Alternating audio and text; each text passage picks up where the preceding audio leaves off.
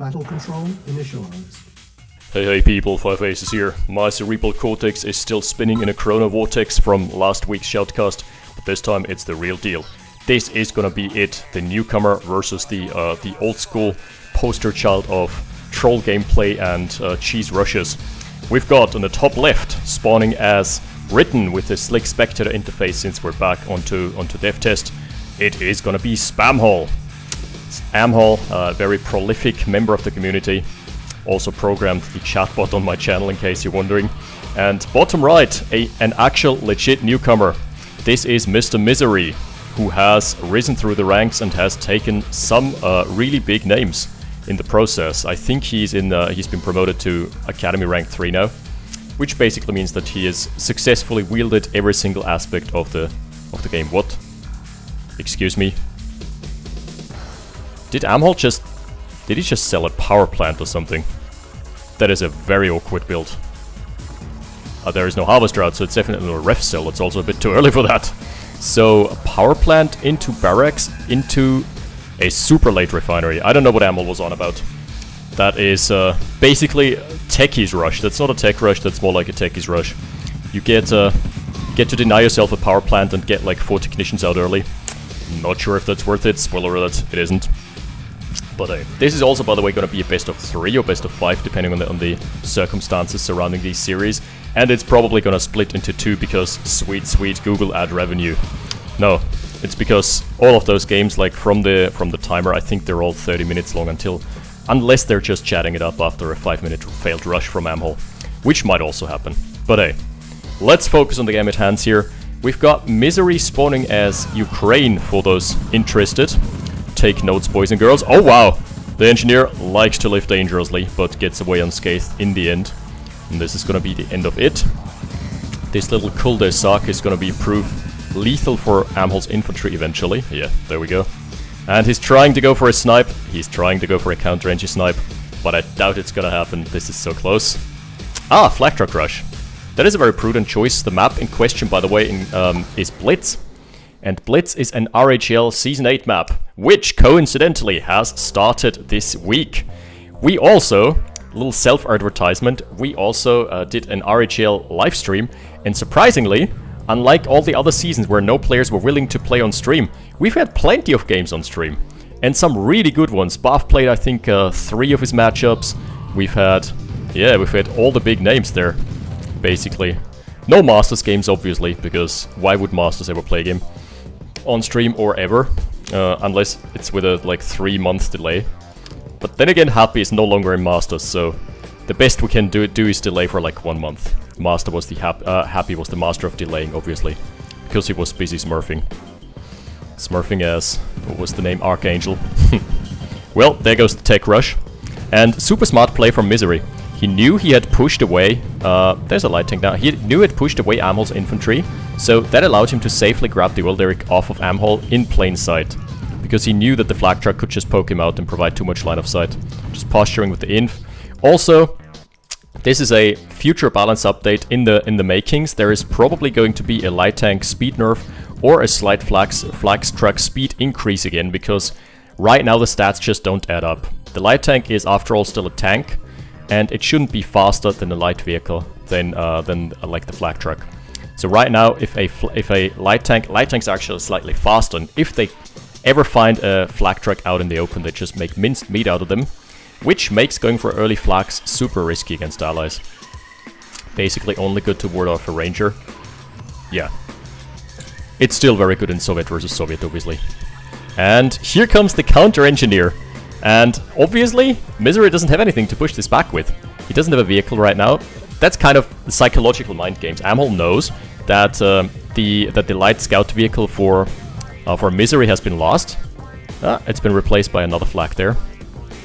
And immediately a rapid response team is being shifted in. There is gonna be a light tank on the hunt. I doubt this capture is gonna finish. It's a valiant effort anyway, because you're trying to create pressure with the flak truck. Didn't work. Amhol not falling for it. Nope. Also getting pushed away, so timer resets. But still some nice scouting denies. It's always super good in the early game. Even taking the hospital away from Misery's Amhol, and that means he's just, just gonna have a bit more map control. But at the same rate, Misery has macroed up. And let me tell you, I've I don't think I've played against him, but I've observed some of his games. He has taken games even off of Barfi, if I remember correctly, maybe Bane as well. Anyway, like, he plays a super, super, uh, he just has a really great sense of game awareness. He just plays a very, um, an extremely smart style, where he knows where he's supposed to be, he knows, he knows when he's supposed to retreat, and he's someone who doesn't fall prey to this, uh, to this fallacy, the sunk cost fallacy. I've seen him pull out of engagements even after losing a couple of units, just in time to save uh, like most of the infantry core. That's what many players tend to neglect. Knowing when to take engagements and knowing when it's a losing engagement. Uh, speaking of losing engagements, this is going to be... The heavy tank hasn't been revealed. That's pretty cool. The hospital has revealed the flak truck, so maybe Amhol thinks this is a perfect timing where the heavy tank hasn't hit the field yet. But surprise, motherfucker! So, snipes the medium for free. That is just a very good timing window. But obviously he knows nothing about this pillbox mill. It's like the infantry chain gun massacre waiting to happen. Uh, still not too many rockets. Ah, and as you can see here, Misery just pulling back, not committing too much into this into this uh, densely fortified position. Just stutter stepping back, taking some bleeding, some attrition damage, but that's fine. He has preserved his tank, he's preserved most of his infantry core, and thus he's fine to hold on to this expansion rather than just committing and losing everything, then uh, Amhol having an MCV plus pillboxes. Uh, double flame tower, that is a bit of a ballsy, uh, of a ballsy positioning. Wow! Okay, that's such quick reactions. Misery immediately refocusing the flame towers onto the Conyard, onto the base defenses. Yeah, this Conyard needs to get the hell out of dodge because as we've learned previously, Flame Towers do have ridiculous DPS against just about anything if they manage to hit. That is a big asterisk. Because they don't always hit and track, obviously. And there's now Tesla Coil. This is just the one-two punch of melee range Flame Towers plus long range Tesla Coil. There is no way for allies to breach this uh, unless it's critical infantry mass. Or artillery. But as we as we all know, like in games this aggressive, it's really hard to wait for your for your tier 2 to kick in. Engineer going down. That is gonna be the light tank. Oh, it, it's been preserved. It has been patched up. Pretty nice. Repairs have been scheduled. And immediately, Misery just pulling back all his expensive armored units. Didn't take too many losses. He's gonna be able to chip away at this blob from range. This is just such great game sense. Massive medium tank flank here. By the way, why is this one... Um, this is undamaged. I have set the health bars to show undamaged, so this one tank took a rifle salvo or something. He's trying to go in. This is probably a bad idea. Yeah, Tesla Coil. Max range Tesla. No way to breach this. Rather than that, I would actually have gone for the main base. Amhol didn't need to commit here. He could have just just uh, kept his infantry blob growing here and attacked into the main base. Would have been the most smart move. The more prudent move. Now that's the Conyard under fire and four heavies. That is just nothing to scoff at. Four heavies are gonna burst pretty much any building they get their hands on. Yeah. As you can see, good night. Good night, Conyard. It was nice knowing you.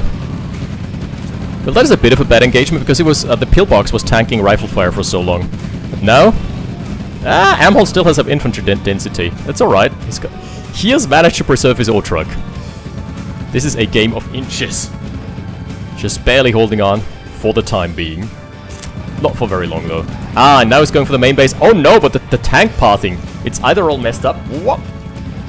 This must have been Misery, yeah? Misery walled off by with wire fence, so not very effective. Still a smart idea. Well, here he can stay and just trade off with Harvesters, that's alright. He lost a Harvester himself. Topside, this is multi-prong engagements at their finest. And thus far, really well played from Misery because he managed to uh, to avoid the arc, uh, the, the firing arc of the enemy base defenses. There are there is a wall of pillboxes, a literal wall of pillboxes, but he's not committing into it. Super smart play. I like that. And this is getting poked away as well. Oh, nice shot on the way out. That's why heavy tanks are so much better. Alpha damage or burst damage is so much stronger than like the continuous stream of DPS from the mediums. Those short burst engagements. Tech rush, uh, well, not tech rush, but there's a Radar Dome out to Ramhole. And that's probably the cue for more artillery and Black Hawks. Yeah, I'm intentionally pronouncing them Black Hawks now because because of some confusion on live stream, you know. Just saying. Still a nice line of sight, uh, nice line of sight uh, provided by the hospital. the Doctors Without Borders ratting out the infantry there. Interesting. Another push onto the main base from Amhol. Man, this is so much multitasking going on. Meanwhile, at the bottom left, a storm is brewing. The winter is coming, and Amhol ain't prepared. He ain't. He ain't got his coat. Let's put it that way. Should have brought his Ushanka. I really like what Misery is doing here. Flame towers can stay and trade with pillboxes for days, and they can also just make... They can also just stir-fry barracks. That's something they're extremely good at. As you can see here again, this is again another example of where lesser players, or players who have less patience, would have committed fully. I would have also fallen prey to sunk cost fallacy, like I've already traded this much infantry, let's go for it. Hit the A button. But no! Misery just pulling back, not taking too many losses, just a bit of attrition damage. More civilians coming out from the cell. Good hustle. But at the end of the day, manages to push him back, and Amhol is forced to retreat his tanks to the safety of his um, of his service depot. There is a massive flank here, but the first Black Hawk is online. Ooh, some more eco being raided. Man, can he hold with this tech rush? He's got the artilleries, he's got the Hind, or the Black Hawk. The thick as fuck Hind. But he doesn't have the eco to support it right now. So, let's check our... Yep. Broke as fuck. he is pulling a Venezuela on us here. It ain't looking too hot for, for Amhol. That's not even Greece levels of economy anymore. That is straight up Venezuela. I'm sorry. Hate to break it to you. Oh, I thought that was those were mechanics. Would have been great to recover some husks. Ah, mechanics are coming out now. Good choice from Amhol. Just, if you're this low on cash and resources, just strapped for re- Oh! He denied his husk with the artillery. The force fire actually made it time out early because husks, if you don't know, they take, uh, the more damage they take, the faster they time out. And that was just enough to push him over the edge. This is a heavily fortified position, but do the heavy tanks care about that? No, says the heavy tank. This belongs to the people now. And, pu yeah, pushing out ammo without even as much as a blink. Man, those heavy tanks just not dying. Force fire from, from Amhol. Oh, he shift queued all of those. He shift queued all those base defenses. Would have been better served just firing in the middle of the infantry blob. Smack dab in the middle. So now Misery would be, yeah, well advised to retreat. Perfect. Look at what he's doing here. He's just retreating out of pillbox range. He knows where the pillbox is. and he knows where not to stand. So now this is probably forfeit because pillboxes can wipe you on retreat. But he traded so much better than he should have. Considering he just adjusted his positioning a couple tiles. And that's something that players should really get better at, include myself included. This tank leaving on a pixel as well. Ooh, that was the tank from the northern engagement. Jeez. How that survived is beyond me. Because it was going pretty deep. Stop command issued immediately. Well, that Black Hawk is being sent back to base immediately. There is an emergency. Please, uh, scheduled for emergency repairs right now. Still, Amhol's got the middle. He's got that one, uh, derrick advantage. Not much in the grand scheme of things, but, yeah, you know. Over time it might add up. Uh, speaking of this derrick, well, that was a very short-lived experience. Yeah, Misery rerouting to the north, reallocating his forces. And there is still such a such a big blob in the south that basically Amhol needs to pull all his forces to contest. And if if Misery catches a whiff of this, then it's probably gonna go north. Oh no. Move it! Black Hawk down. This is gonna be an official thing now. The first Black Hawk lost every match is gonna be accompanied by a Black Hawk down sound clip. I'm sorry. Sorry but I have to do this to you guys and girls. Yeah, that's a bit... the infantry density a bit too high, coupled with base, uh, base defenses popping up. No chance for Misery to break through here. So a nice little cleanup from Amhol. But is that enough to push him back into the game? He's still got two helipads. He's still sitting on a 4k bank. Well, that's two more Black Hawks. And a tank to boot.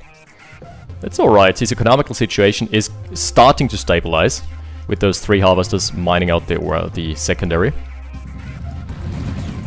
Not looking too bad anymore. Oh, except it is. There is a massive push. Three heavy tanks spearheading the assault. Excuse me. Still haven't replenished my health here, as you can hear. He can block the War Factory. Block it and blow it up. That is straight up what he should go for. Oh, Amhol is actually single-handedly targeting out all the infantry. That is pretty cool. Well, he should block the War Factory. He doesn't know that nothing is built there. We can see it. Misery can't. Another detachment being cleaned by the Hinds. Being cleaned up here though. No more rockets. Yeah. That's all the rockets. Sans one down. Nice! Really good call from Amhol. Putting up concrete wall just to prevent the tech snipe and to tangle up the tanks a bit more. Man, the artillery. His artilleries have been a bit unlucky this game, just putting it out there. But that's gonna mean that the war factory is gonna go down. Oh no. Oh, two heavy tanks left. I think he's got enough DPS left in the tank to finish this. Is he though? Is he? Uh, no, he isn't. Wow, the second heavy tank died way quicker than I expected it to. But yeah, four rockets firing at it. Jeez! War factory is blocked but remains stable. And also he can now reallocate his harvesters, send them back to work after a, a nice day's strike. Wait, that looked like a longbow. No, it's a Black Hawk. Yeah, one of the points of criticism is still to directed towards the Black Hawk. I like the model, I love it actually, but it's a bit too similar to the longbow. Needs one or two more distinct features, maybe in terms of color palette. But yeah, kudos to the creator of the sprite. Can't credit him, him or her right now because I don't know the name unfortunately, but it is an amazing sprite after all. So bottom line expansion is being camped heavily by a lot of heavies basically swarmed by Stalin's hammer. There's gonna be a decently sized Black Hawk force out now. Oh wow! That is a lot of utility and very little DPS. This little blob here costs an MCV's worth, by the way. Jeez. It, it were a shame if a V2 were to land in the middle of this. Right? Okay, finally Raid Attack is online for, for Misery as well. He had time to catch up in the tech race. And that's so important. In the late game, you can't fight tier 3 with tier 1 unless you've got, like, massively superior economy. I think he doesn't have enough. Wait, he, he force landed one of the Hinds, of one of the Blackhawks. He did showcase a feature that hasn't been present in the game before. This is only in the playtest. Helicopters can now force land, and while doing so, they can actually crush infantry. It's one of the most hilarious ways on styling on your opponent of styling on your opponent. Just try it for yourself. Ooh, Misery realizing the peril that his Radar Dome is in. I think he's now out of out of range of dying to the crash, but still, maybe Misery is gonna go for an Engineer. Wow, that was clutch play. Just one more rocket would have killed the Radar Dome, because then uh, the Black Hawk would have crash landed. There's also a spy here. Hello, Mr. Bond. Where's the spy gonna go? Probably a power infiltration. But yeah, the ever-seeing eye of the Yak is not gonna allow for this. Definitely no. That's a hard pass. Well, it's still trying. There's a tech center out for Misery here as well. Nice, good call. I would love to send some. Uh, I would love for Amhol to send some infantry up north and just deny the ore patch. Then they would be on even footing in terms of econ. Well, not for not for long anyway. But hey, now that's the Radar Dome down. There is no denying it. Trades it for a Hind completely fine in my books. And Misery, interestingly, being the first to uh, to go for this ore patch. Amhol shortly to follow. Ooh! Blackhawks didn't have enough ammo left in the tank to finish it off anyway, but it would have been a great deal. Would have been a sweet escape. Oh no! Ooh! Too many Zooks on the dance floor. That means all the Hinds are down.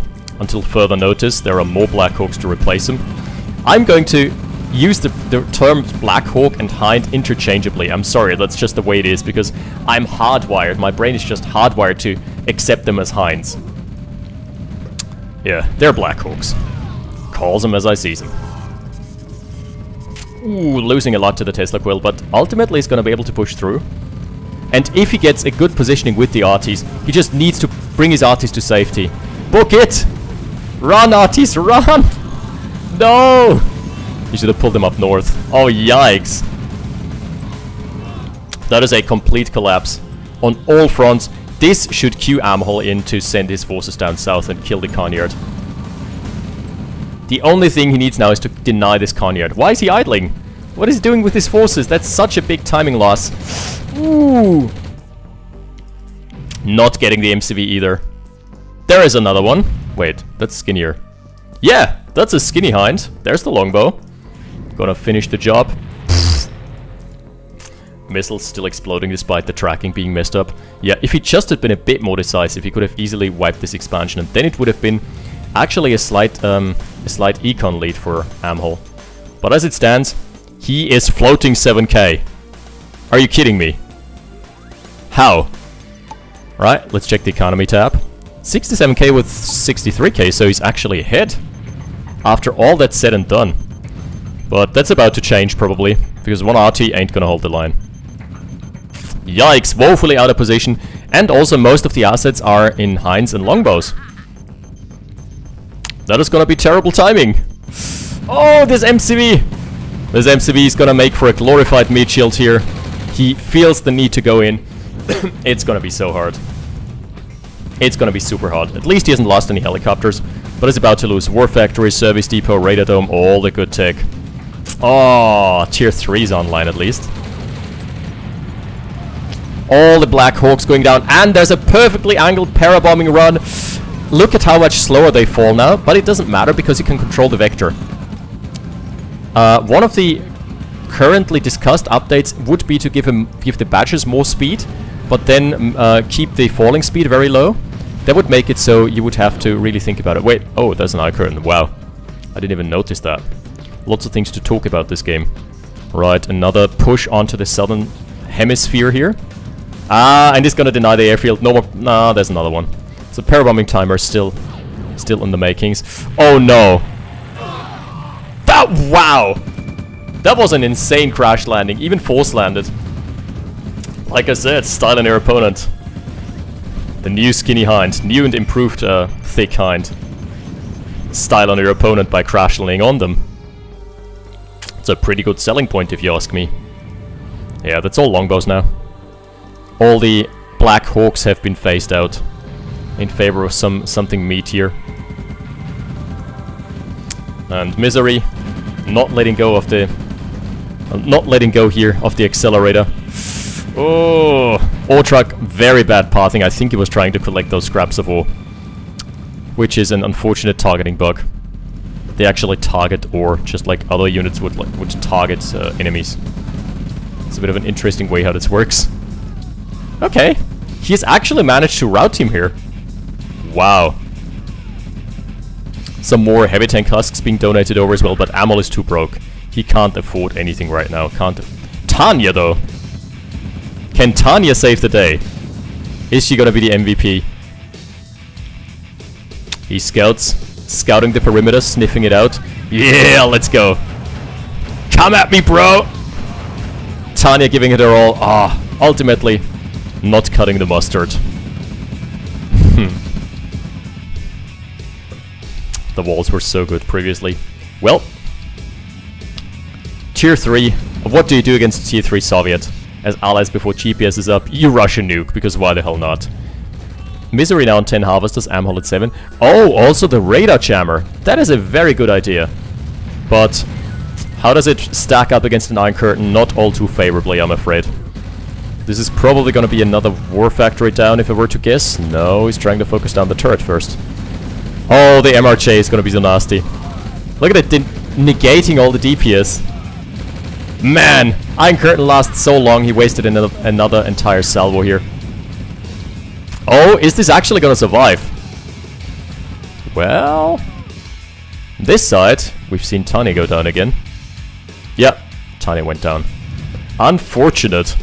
Oh no, he built an, a mobile gap generator just for style points. This time though, the War Factory is definitely going down. There's no... Oh, there is no saving him this time. Yikes. And Tanya died in the process. Many Tanyas died in the process of making this video. Disclaimer. Not for the uh, for the sensitive. Not for the faint of heart here. Well, Tanya, Mobile Gap Generator, Radar Jammers, that's the ultimate nightmare. What do you want to do against that? What do you want to do against that as Soviets? V2s. V2s fire into this uh, center of mass. Well, Mammoths. could also do the trick. But Mammoths are actually not that good uh, now that their range has been reduced. And like the way mobile gap generators work is actually quite annoying because they reduce your your own uh, unit's vision by I think two cells flat. So uh, mammoths don't have crazy vision. I think like six cells or something. And if you take two away from that, it's next to nothing. Ooh, SAM site being deployed. Lots of scouting technicians. Ooh, that's an entire college fund being drained here just on, on a couple scouts. I don't like what I'm seeing. Well, Amhol is on one base, he's playing the good old one base game. Needs to get an expansion out at some point, he's, yeah, he's building an MCV. It's probably one of his best bets would be to move his original Conyard. As weird as it sounds, he's trying everything to stay in the game here. He's just patching up every single unit. Every single unit counts now. Oh, Tanya is in peril. Mammoth tank is primed and ready. Oh! The good old swapperoo! I don't think... I don't think Misery saw that. But it's gonna be wondering, huh, why isn't this pillbox firing? So now let's see. This is so annoying fighting without line of sight. Ah! Ah, he sees the... He sees the muzzle flash. So he should be aware of what's happening. Nice! The longbow's coming in from behind. In the rear with the gear. Swooping in from behind and just taking taking out the mammoth without any chance of retaliation. Oh! That was a longbow dying on the airfield. What are the odds? TIL that um, mobile gap generators leaves leave husks. That makes them the only vehicle that the only light vehicle to leave a husk.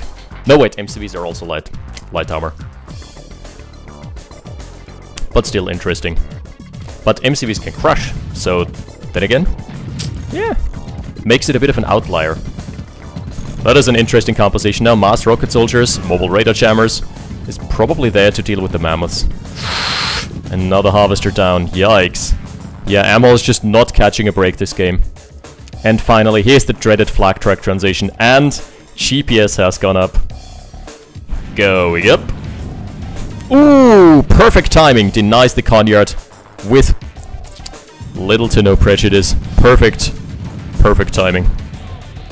Really like what he's doing there. Big fan. Oh, that's gonna be another uh, another chance at some rear shots into the rear armor of the Mammoth tanks. And this is just to showcase how garbage the turret tracking is. But he needs to get rid of the flak truck first. Just wait for it to get out of position. Then make it drop to make it drop to longbow ammunition. If I may rhyme that myself. Ooh. Yeah. He also doesn't have enough ammo left in the tanks to finish both the mammoths. That's gonna be so nasty. Ah, he's waiting for the MRJ. This is super smart. I love that. That is such a clever idea. MRJ is gonna deflect all the mammoth tanks. All the mammoth tank tusk missiles. Tanya died again. Oh no! The V2's got her. Damn! What a crazy game. Multitasking from start to finish. But ultimately, Misery playing it super smart. Uh, a super smart positional game, retreating when necessary, you know, employing Sun Tzu's Art of War. Strike where your enemy isn't. And, yeah, ultimately also just racking up too much value with the Iron Curtain. Even though, like, the individual Iron Curtain pushes by themselves were not that devastating, but if the, if the numbers culminate um, it just racks up faster than, than the Chronosphere does, and so Chronosphere would probably not have been the best counter from Amhol. Also, it was broke. Yeah, that's it for game 1, and that's gonna be a 1-0 up for Misery. I'm awaiting, I'm eagerly awaiting game 2. See you in a sec. Battle control terminated.